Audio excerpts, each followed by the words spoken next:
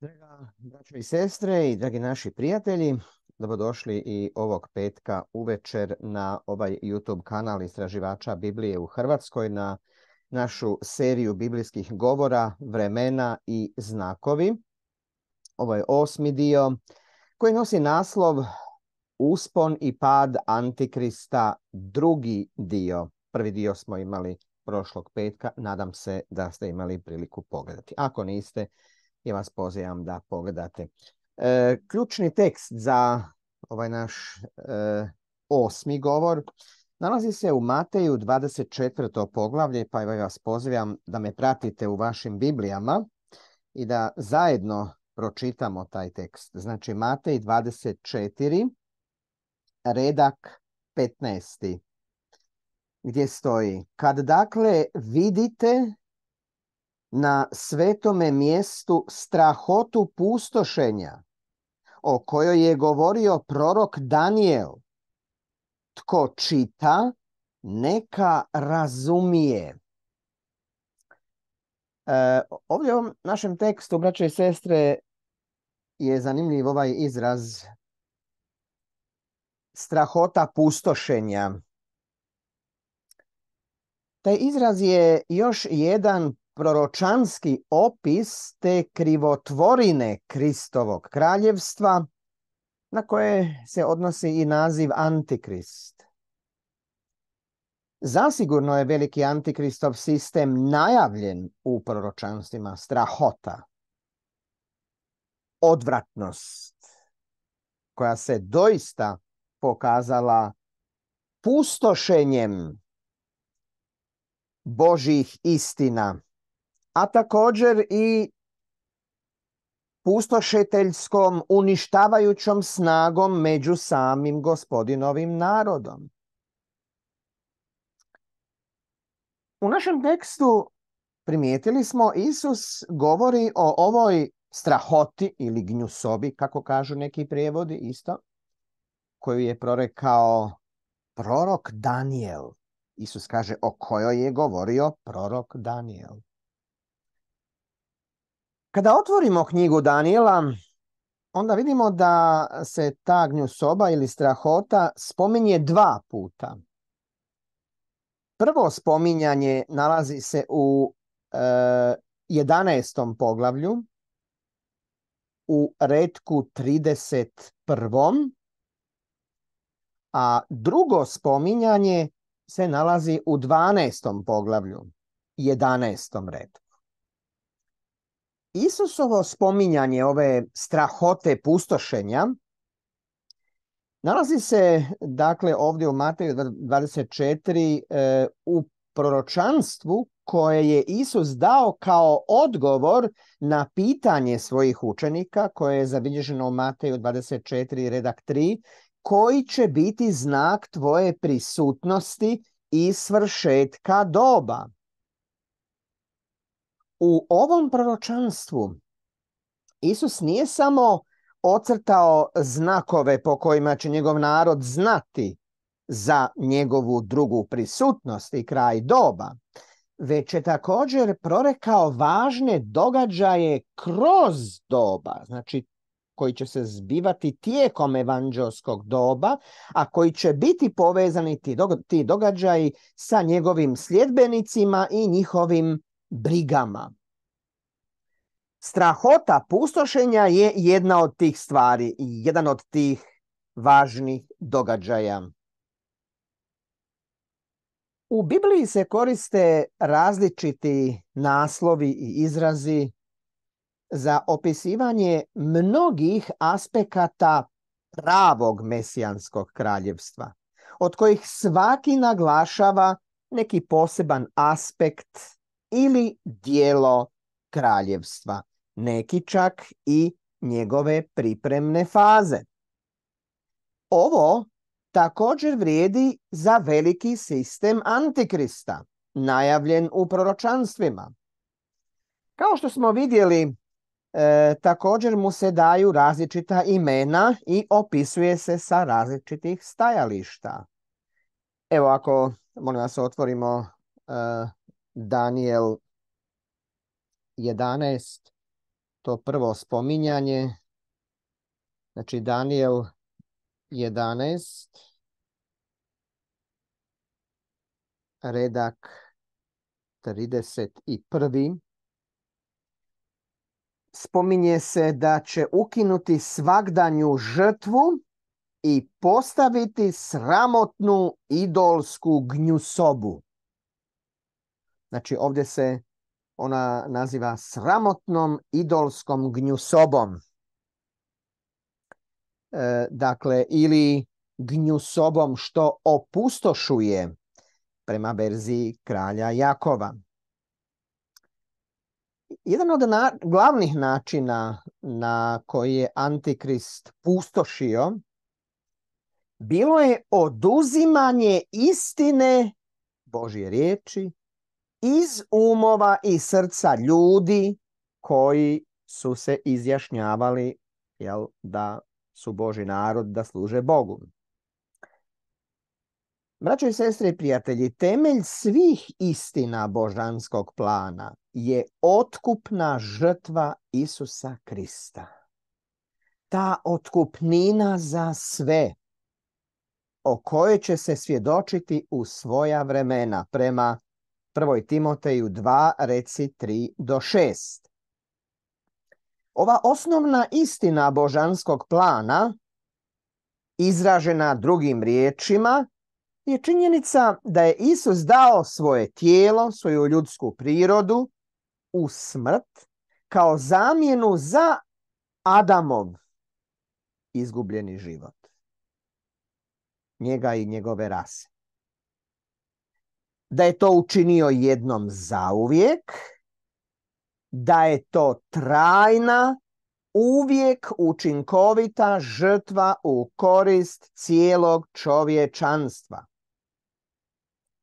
U oba Danielova spominjanja te gnjusobe koja pustoši, on s njom povezuje oduzimanje onoga što verzija kralja Jakova opisuje kao svakodnevnu žrtvu. A ovdje smo evo čitali također u ovom redku 11.31 kaže ukinut će svagdanju žrtvu. Ova hebrejska riječ koja je prevedena kao svagdanja žrtva, svagdanja žrtva ili svakodnevna žrtva zapravo znači nešto kontinuirano, nešto trajno ne misli se na svakodnevne predođbene žrtve koje su se prinosile pod Mojsijevim zakonom, već na veliku žrtvu Isusa Krista, koja je prinešena jednom zauvijek prema Hebrejima deset redak deseti, koja je bila osmišljena da neprestano, kontinuirano, stalno služi kao pomirba, kao pomirnica za grijehe crkve tijekom sadašnjeg doba i općenito za grijehe svijeta tijekom budućeg doba, milenija, prema prvoj Ivanovoj 2, redak 2. Ovu stalnu žrtvu je Antikrist oduzeo ili uklonio, ostavio po strani, a na njeno mjesto postavio je doktrinu o misi, koja uči šta? Da izgovaranjem nekoliko latinskih riječi nad oblatnom kruha i čašom vina se, dakle, ta hostija i to vino pretvaraju u stvarno tijelo i krv Isusa Krista. Ne samo da tvrdnja da su Isusovo tijelo i krv na taj način ponovno stvoreni i ponovno žrtvovani nije podržana u svetom pismu, nego ta teorija, braćo i sestre i prijatelji, potpuno uništava slavnu istinu Biblije o otkupnini, zamjenskoj žrtvi Isusa Krista.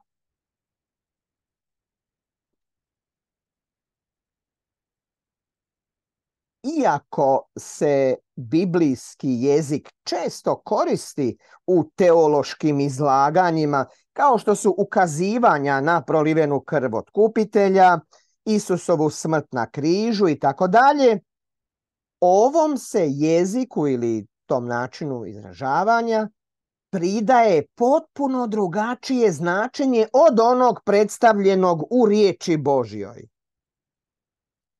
U Svetom pismu prolijevanje krvi simbolizira izlijevanje života, odustajanje od života. Prema Izaiji 53.12. redak, Isus je izlio svoju dušu u smrt. Ali, ali Antikrist ne vjeruje da je Isus umro. Kako to? Pa za teologe u ovom sistemu Antikrista Isus je bio Bog. A Bog sigurno nije mogao umrijeti. E, njihova je teorija da je Bog došao na zemlju utjelovljen u tijelu i pokazao patnju, pretvarajući se da umire na križu. Teorija je da se grijesi iskupljuju patnjom. Ali nije bilo dovoljno da Bog jednom pati na križu, pa uzrokuju da on pati uvijek iznova kroz žrtvu mise. Ali čak ni to nije dovoljno, jer nakon smrti pojedinac za kojeg se misa održava mora otići u čistilište i nastaviti patiti u čistilištu. Duljina vremena ovisi o tome koliko će ga se dobro njegovi prijatelji sjećati koji su još na zemlji. I naravno plaćati mise za njega.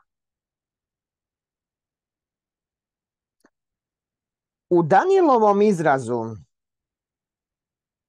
strahota pustošenja, gnju soba koja pustoši, hebrejska riječ prevedena opustošiti znači, vjerovali ili ne, omamiti. Omamiti. Imajući kao prizvuk značenje da se omamljivanje ili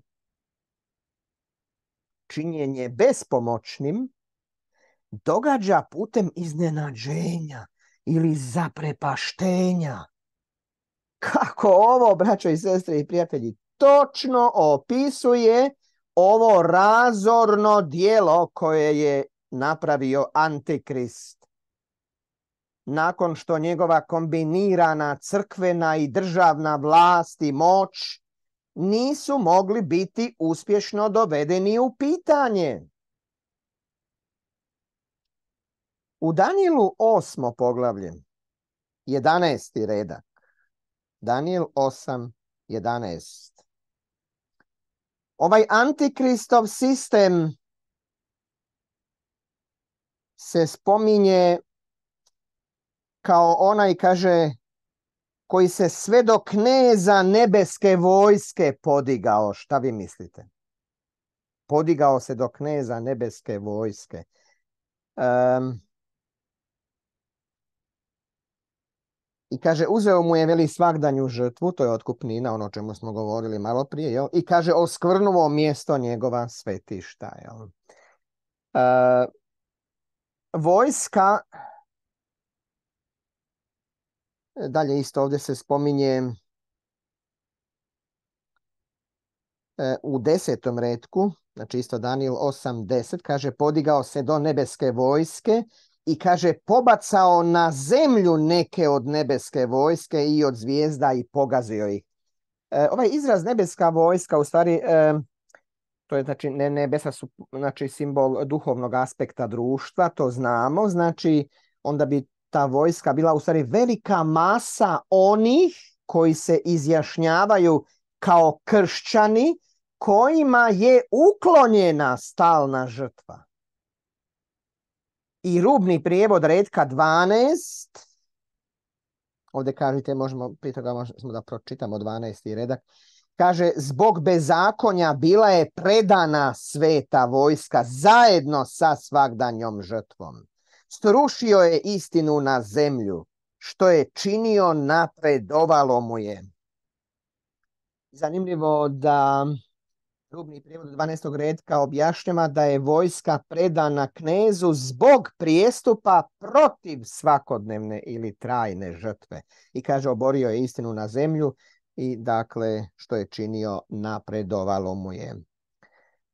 U recima 24 i 25 čitamo dalje o Antikristu, znači Daniel 8, reci 24, 25, kaže silna će mu biti moć, ali ne od vlastite snage. Ovo je zanimljivo. I, e, zašto? Zato što, e, dakle, je on se oslanjao na državne sile raznih kraljevstava Europe. Kaže, nanijeće izvanrednu pustoš i dijela će mu napredovati. Moćne narode, pa i narod svetaca, upropaštavat će. 25. kaže njegovim ćemo lukavstvom napredovati njegov prijevarni pothvat. Biće ohol i mnoge će iznenada upropastiti. Kaže, ali čim se digne na kneza nad knezovima, to je Krist, bit će satrven bez ljudske ruke na kraju, naravno. Jel? Još jedno razotkrivajuće proročanstvo o ovoj istoj strahoti pustošenja ili gnju sobi koja pustoši nalazi se u Danielu 11, reci 31 do 33. Znači Daniel 11, reci 31 do 33. Kaže, vojska koju je poslao nastupit će, oskvrnut će svetište i tvrđavu, ukinut će svagdanju žrtvu i postaviti sramotnu idolsku gnjusobu. Laskavim riječima privodi k otpadu one koji su se ogriješili o zavjet. Ali mnoštvo onih koji poznaju svojega Boga ostaće postojani i činit će pravo. Razumni u narodu osvijestit će mnoge ali će biti donekle duboko satrti mačem i plamenom, ropstvom i grabežom. Iz ovih različitih, vidite, proročanskih e, slikovitih riječi dobijamo vrlo jasan pogled na dakle strahotu koja pustoši ili gnju sobu koja čini pustoš. Osim što je oduzeo trajnu, uvijek djelotvornu Kristovu žrtvu, oborio je u biti svu Božju istinu na zemlju. Ja ću navesti neke elemente e, te istine koje je on oborio. E, istinu o jednom pravom i živom Bogu iz Biblije bila je zbačena, a trojedini Bog postavljen na njegovo mjesto. Drugo, istina o tome da je čovjek smrtan odbačena je, a umjesto nje izmišljen je besmrtni čovjek. Treće, velika istina da je plaća grijeha smrt bila je odbačena, a zamijenjena je sa mučenjem vječno u paklu za namjerno zle, poput heretika i duga stoljeća mučenja u čistilištu za manje nego namjerne grešnike. Zatim, dalje, istina da će se Krist vratiti i sa svojim vjernim sljedbenicima uspostaviti kraljevstvo na zemlji je također bila zbačena, a ne sveta crkveno-državna vlast je zamijenjena za to jel, sa papom koji je tvrdio da je Kristov namjesnik. Pravo krštenje u Kristovu smrt sa svojim simbolom uranjanja u vodu odbačena je ta istina, jel? a škropljenje dojenčadi ustanovljeno je kao zamjena. Dalje, opravdanje vjerom u krv Isusa Krista je odbačeno, a njegovo mjesto je zauzela pravednost kupljena kroz oprost i misu. Dalje, istina o obnovi raja tijekom vremena obnove svega što je Bog rekao ustima svih svojih svetih proroka od postanka svijeta, dijela 3, reci 19 do 21, bila je odbačena, a laž prihvaćena da će vrijeme jednog dana završiti i da će tada zemlja biti uništena. Vidite, braćo i sestre, mogli bismo, vjerujte, nastaviti imenovati jedan za drugim pojedinosti istine i otkrili bismo da je ta strahota pustošenja, ta soba, kako kaže drugi prijevod, jel, koja čini pustoš, kriva što ih je sve zbacila na zemlju i zamijenila druge na njihova mjesta. Jedan od e, najzapanjujućih aspekata svega ovoga je da je sama Biblija, braćo i sestre, sama riječ Božija je bila potisnuta na sekundarno mjesto. A autoritet pape uzdignut iznad autoriteta Biblije. To znači da onaj poznati izraz iz Izaije 57, 15. redak, Jeremije 2, drugi redak, Ezekijela 25, 15. redak i tako dalje. Izraz koji glasi ovako govori gospodin kroz njegovu nadahnutu riječ, da je to imalo malu ili nikakvu težinu u umovima i srcima onih koji su bili naravno zapanjeni ili bili smo ta riječ, znači ovoga omamljeni e, ovim odvratnim sistemom. Drago nam je, braćo i sestre, da je u proročanstvima e, napravljena tako jasna razlika između vojske, znači velike mase nominalnih vjernika i svetih naroda koji poznaje svog Boga. Sad smo malo pre ovdje čitali Danil 11, redak 32. Kaže, ali mnoštvo onih koji poznaju svojega Boga ostaće postojani i činit će pravo.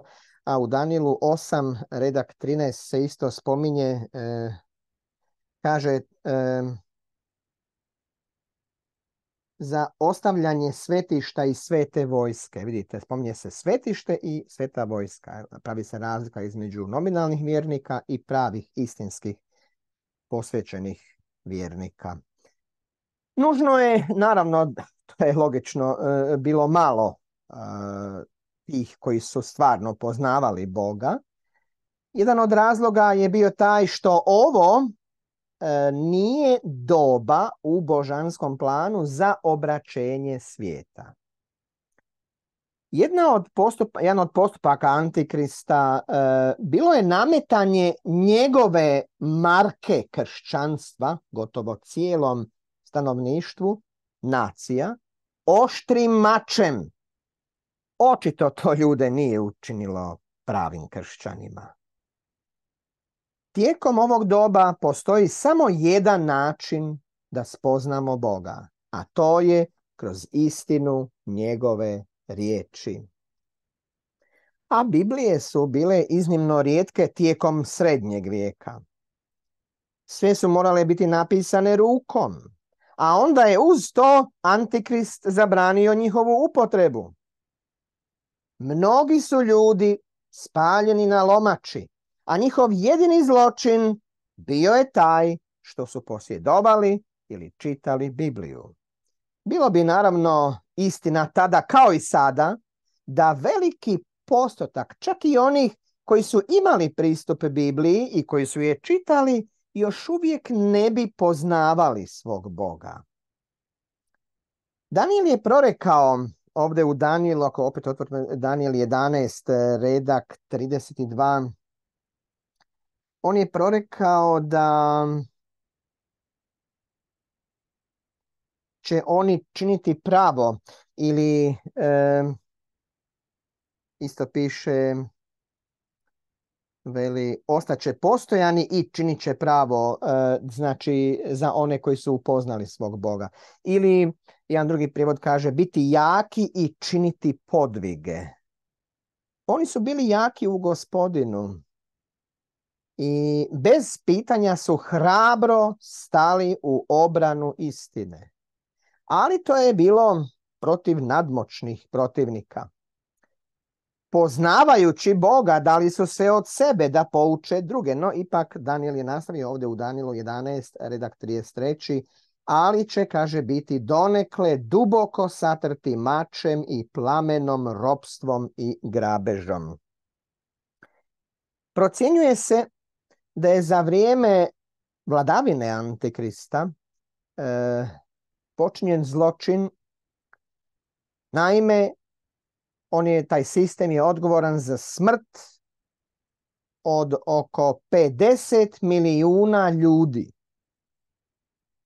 A smrtna kazna često je izricana od strane ove strahote ili gnjusobe koja pustoši na najokrutnije načine kao što je spaljivanje na lomači, na stalku za mučenje. Jezici su bili e, vađeni ljudima, rezani, e, rastopljeno olovo bilo je e, lijevano u usta žrtava, a sve to u ime Krista. Ali naravno protivno svakom načelu izloženom u njegovim učenjima i njegovim primjerom crkveni povjesničari, protestantski i katolički, potvrđuju činjenice o tim zločinima. U ovom 21. stoljeću civilizirani ljudi svijeta bili su užasnuti okrutnostima koje su manjinama nametnuli nemilosrdni diktatori našeg vremena, kako fašistički, tako i komunistički. Ali nijedna od tih okrutnosti, dragi prijatelji i braćo i sestre, nije bila džavolskija, niti raširenija od mučenja takozvane svete inkvizicije. Pa ipak, to je bio samo prirodan rezultat antikristovih učenja koja obeščašćuju Boga, posebno onih doktrina koje se odnose na paklenu vatru i čistilište.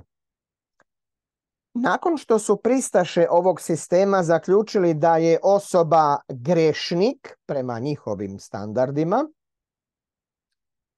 pretpostavili su da će Bog tu osobu vječno mučiti na džavolskije načine, nego što su njihovi izopačeni umovi mogli zamisliti. Pa zašto ne kopirati Boga i nanijeti što više muke jadnoj duši prije vremena? Nije ni čudo, braćo i sestre i prijatelji, što Biblija opisuje sistem sposoban za takve postupke kao strahotu pustošenja. Začuđujući način na koji su odstupili od pravih doktrina Božje riječi i prakse pravde i ljubavi koju su osuđivali. Uistinu je zaprepastio tobožni kršćanski svijet tijekom mračnog srednjeg vijeka. I dok je bilo nekolicine onih koji su poznavali svog Boga i hrabro se isticali protiv grešaka koje su ih progutale, velika većina je podlegla i kako je naraštaj za naraštajem prolazio, ove odvratne doktrine i prakse postale su prihvaćene od strane ljudi kao pravo kršćanstvo. Istina, veliki reformatori konačno su počeli zauzimati svoj stav protiv zala odvratnosti i nedvojbeno su postigli mnogo dobra.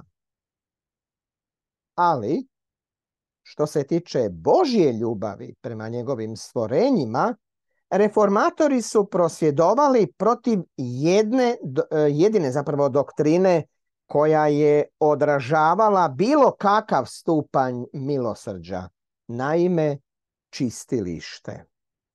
Moglo bi se tvrditi da bi patnička duša možda mogla biti puštena iz čistilišta Ali kada su reformatori ukinuli čistilište, ostalo je samo vječno mučenje za one koji nisu bili dostojni odlaska u nebo.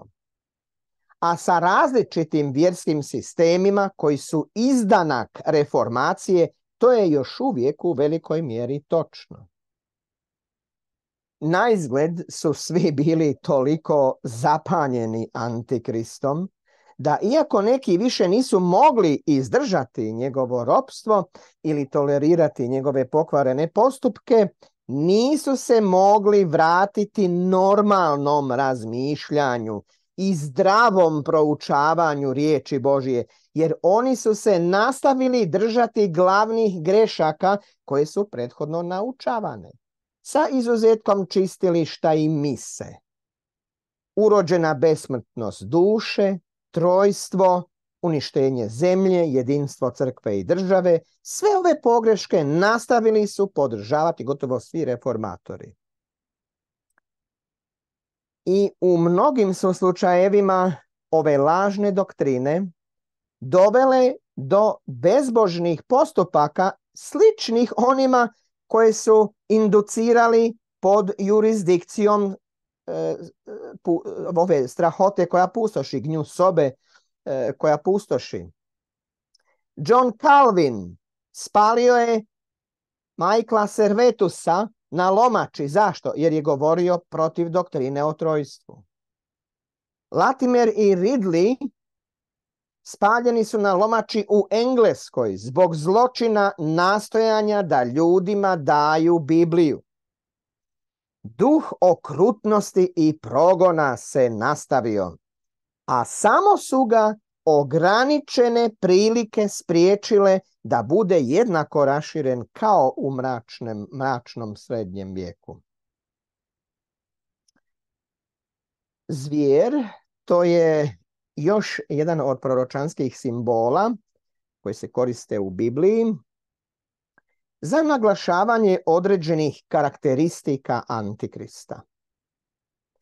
E, ovaj simbol predstavljen je u sedmom poglavlju knjige proroka Daniela gdje nam se govori o četiri zvijeri, od kojih svaka predstavlja kraljevstvo. Većina istraživača proročanstva slaže se da ove četiri zvijeri predstavljaju četiri uzastopna carstva – Babilona, Medoperzije, Grčke i Rima. E sad, postojale su dvije faze ili dva dijela rimskog carstva, poganski i papinski. Ova promjena sa poganskog na papinski predstavljena je u Danilovom proročanstvu o četiri zvijeri malim rogom koji je izrastao na glavi četvrte ili rimske zvijeri zamjenjujući tri od njezinih deset rogova. Ovaj rog, kao i ostali, tumači se kao kralj, odnosno kraljevstvo. U opisu njegovih karakteristika dana nam je još jedna e, jasna izričita e, identifikacija antikrista. Naime, čitamo u Danielu 7, redak 25. Daniel 7, redak 25. kaže On će govoriti drske govore protiv svevišnjega i gledat će da potamani svece svevišnjega. I pomišljat će na to da promijeni blagdanska vremena i zakon. I oni će biti predani njegovoj vlasti na jedno vrijeme i na dva vremena i na polovinu vremena. Ovo proročansko mjerenje vremena, znači jedno vrijeme, dva vremena i polovina vremena, zapravo je razdoblje od tri i pol simbolična vremena ili simbolične godine.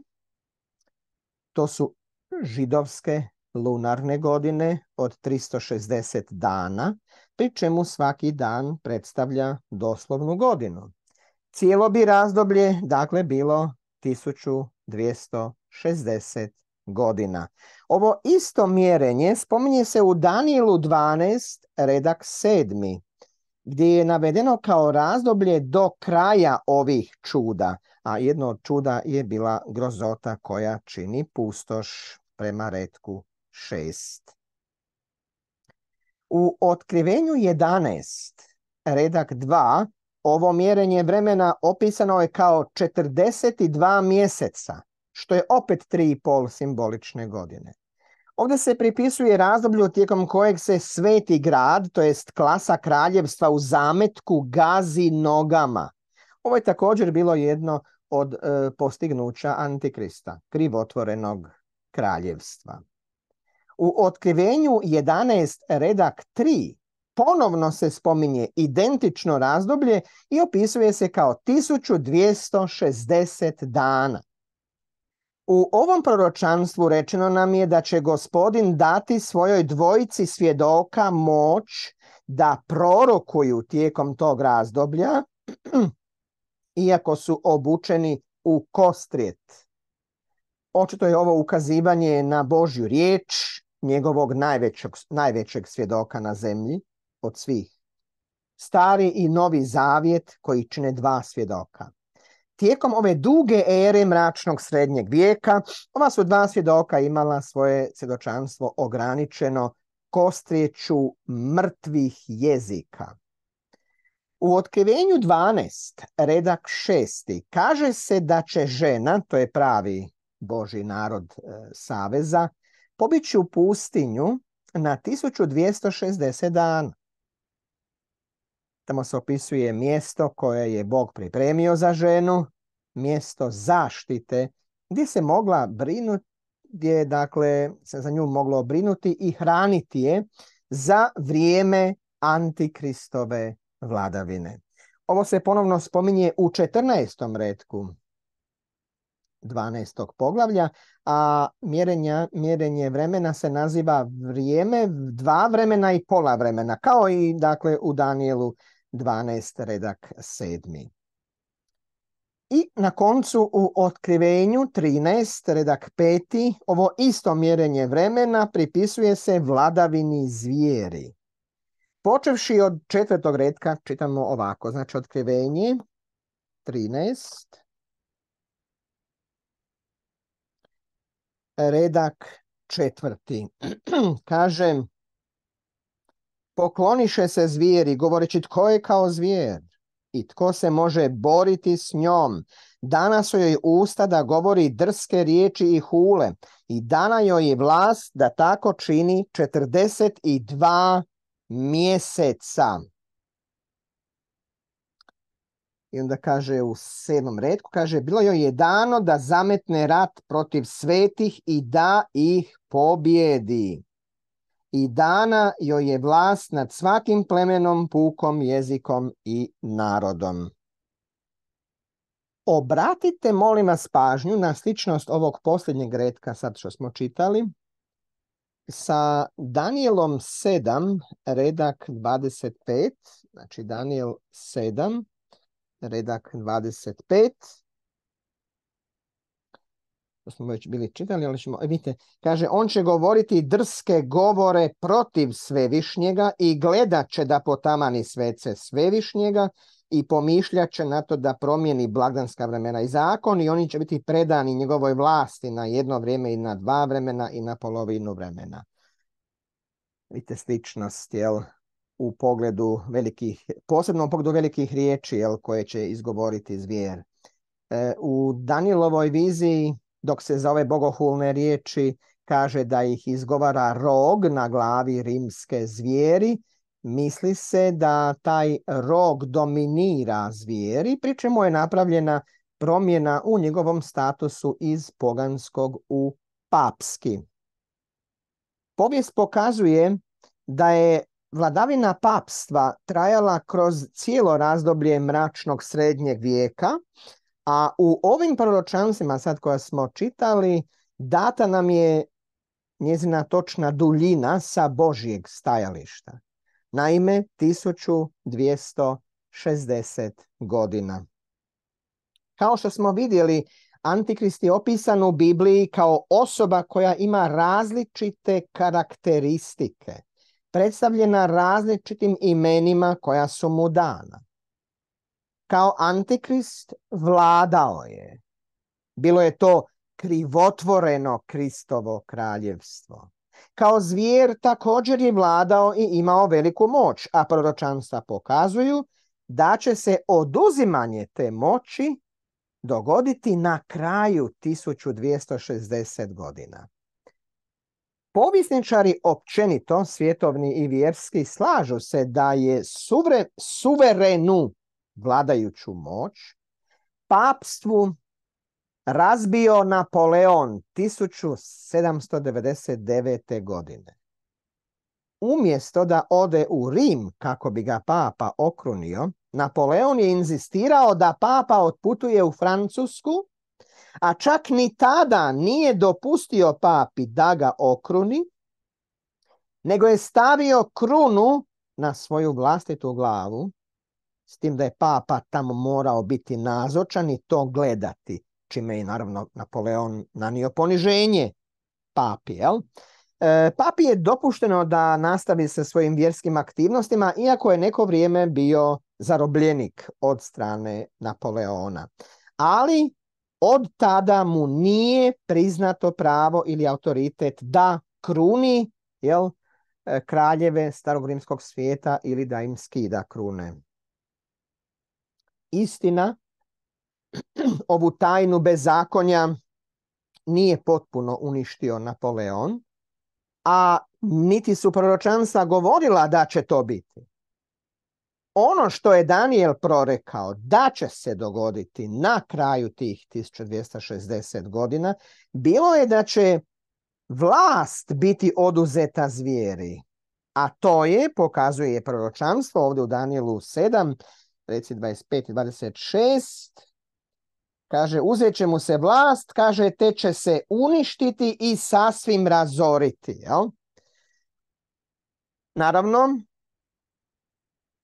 sve dok se ne uspostavi pravo Kristovo kraljevstvo, a njegova moć bude raširena diljem svijeta, posljednji trag Antikrista će biti uklonjen, a njegov iskvarujući utjecaj u potpunosti uništen.